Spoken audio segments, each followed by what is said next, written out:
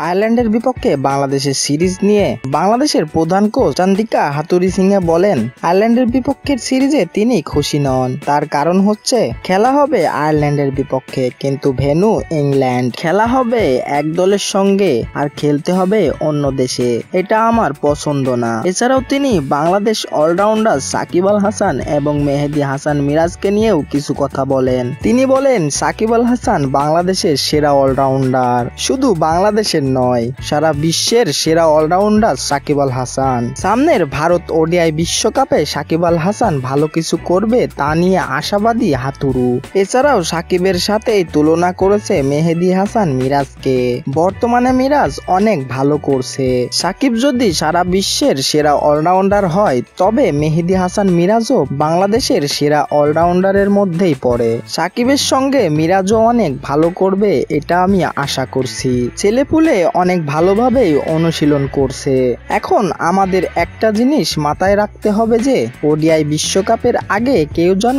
ইঞ্জুরির কারণে ছিটকে না পড়ে। এই ব্যাপারে আপনাদের মতামত আমাদের কমেন্ট বক্সে জানিয়ে দেবেন।